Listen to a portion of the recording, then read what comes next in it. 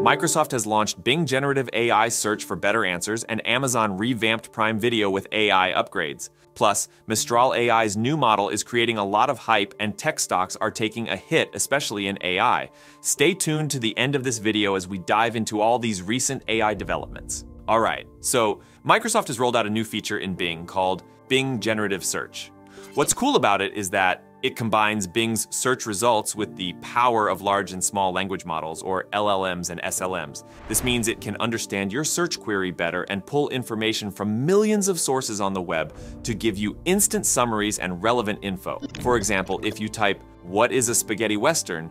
Bing will give you a rundown of the film genre's history and origin, and even highlight some of the most famous movies. It'll also show you links and sources where it got the information from. Pretty handy, right? Jordi Ribas, who's in charge of Copilot and Bing, announced this launch and called it a meaningful step forward in AI-driven search. It's Microsoft's direct response to Google's AI Overviews, which launched in the US back in May. Google's feature aims to give users quick answers without making them sift through tons of articles, and Bing Generative Search does the same thing. Now, let's talk about the hiccups Google faced with their AI overviews. They had some major fails, like suggesting mixing non-toxic glue with cheese to keep it from sliding off a pizza, and giving a recipe for mustard gas when someone asked how to clean a washing machine. Crazy, right? Other AI search engines like Arc Search and GenSpark also had their own issues.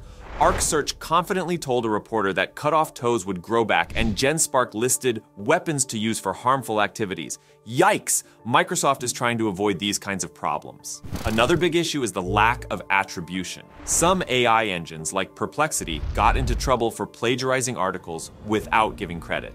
Microsoft wants to make sure they don't fall into that trap. There's also concern about how AI search could impact website traffic. Google's AI overviews might hurt around 25% of publishers' traffic because people get the info they need from the summary and don't click through to the actual site. This is a huge deal for content creators and smaller websites, but Ribas is confident that Bing Generative Search won't have this problem.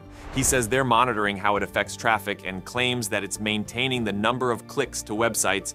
However, he didn't provide any hard data, just some early data that's not published yet, so we'll have to keep an eye on that. Essentially, Bing Generative Search is here, and it looks like they've learned from others' mistakes. It'll be interesting to see how it compares to Google's AI overviews. What do you guys think? Drop your thoughts in the comments below. All right, now, Mistral AI has just revealed their latest large language model, and it's called Mistral Large 2, or ML2 for short. So let's break down what makes this model a serious contender against the big names like OpenAI, Anthropic, and Meta. All right, here's the deal. Mistral AI's new ML2 model has 123 billion parameters, and it's pretty impressive. This announcement comes right after Meta launched their new 405 billion parameter Llama 3 model, which has a massive context window of 128,000 tokens and supports 8 languages. ML2 also features a 128,000 token context window and supports dozens of languages, plus over 80 coding languages. This language diversity is a big deal since many open models usually only support English.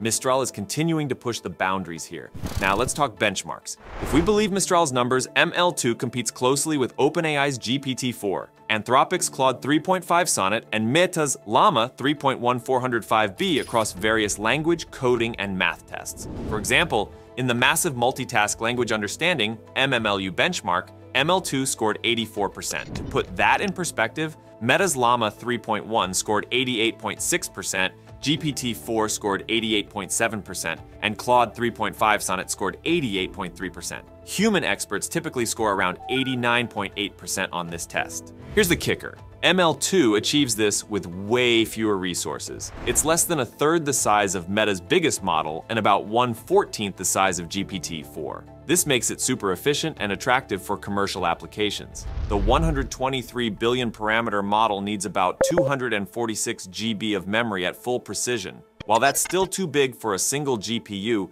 it can run on a server with 4 to 8 GPUs without needing to compress the model. Meta had to offer an 8-bit quantized version of their model to make it run on existing hardware, but ML2's smaller size means it can process queries faster. This higher throughput is because smaller models don't put as much pressure on the memory system, allowing them to produce responses quicker. The crazy thing is that if you have a powerful enough system, you can even try running Mistral Large 2 at home. Mistral has also put a lot of effort into making ML2 more reliable. They've fine-tuned it to be cautious and avoid hallucinations, where the model generates incorrect information. ML2 is designed to recognize when it doesn't know something and handle complex instructions better, especially in long conversations. Another cool feature is that ML2 is optimized for concise responses. While long answers might score higher in some tests, they're not always practical for business use, where shorter, more efficient responses are often better. Now about the model's availability. ML2 is open and available on popular repositories like Hugging Face, but there's a catch. The license is more restrictive than some of Mistral's previous models. For non-commercial and research use, it's fine, but if you want to use it commercially, you'll need a separate license. This isn't too surprising given the resources needed to develop these large models. Alright now, Amazon has just rolled out a major redesign for Prime Video, and it's packed with some cool AI upgrades to make your streaming experience even better. So what's new? Basically, they've revamped their interface to simplify the way we watch and browse content.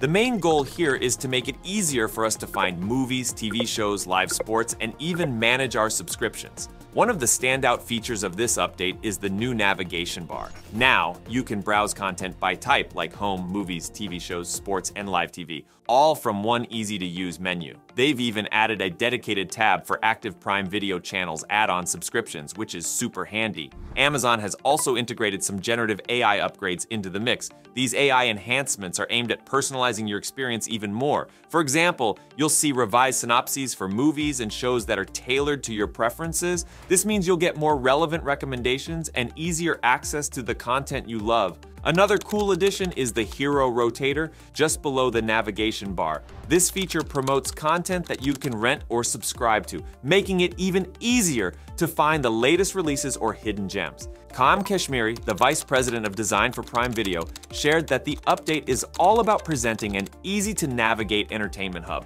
The idea is to help you discover new titles and enjoy your favorites without any hassle. Plus, you can sign up for or switch add-on subscriptions using a single login. The global rollout of this new UI started on July 23rd, and it should be available to all customers in the coming weeks. So if you haven't seen the new design yet, keep an eye out. It's coming your way soon. All right, now, an interesting trend happening in the financial markets. Shares in both the US and Asia have taken a pretty sharp dive, especially those in the tech sector and even more so in AI-related stocks. Just recently in New York, the S&P 500 dropped by 2.3% and the Nasdaq, which is heavy on tech stocks, fell by a whopping 3.6%. These are their biggest one-day falls since 2022. The Dow Jones Industrial Average didn't escape either. It was down by 1.2%. The big players that got hit hard included Nvidia, Alphabet, Microsoft, Apple, and Tesla. Over in Asia, the decline was led by Japan's Nikkei index, which fell by more than 3%. This year, AI stocks have been a major driver of market gains.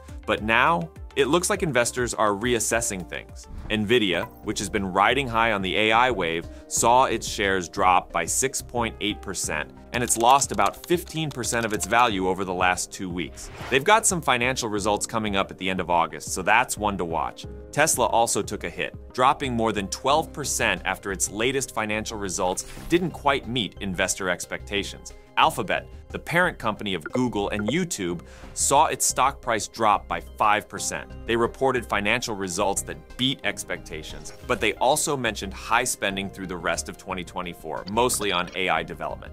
In Asia, some of the big fallers included chip makers like Renesas Electronics and Tokyo Electron in Japan, and South Korea's SK Hynix. According to Junbei Liu, portfolio manager at Tribeca Investment Partners, investors are starting to worry about all this spending on AI without seeing the revenue benefits. She doesn't think this signals the end of belief in AI, but suggests that investors will now be more focused on returns in the AI sector rather than just buying into the hype. There's also some investor wariness due to surprises in the US presidential election campaign and questions around when the US central bank will cut interest rates. All right, if you like this video, please give it a thumbs up and subscribe for more AI updates. Share your thoughts in the comments below. Thanks for watching and I'll catch you in the next one.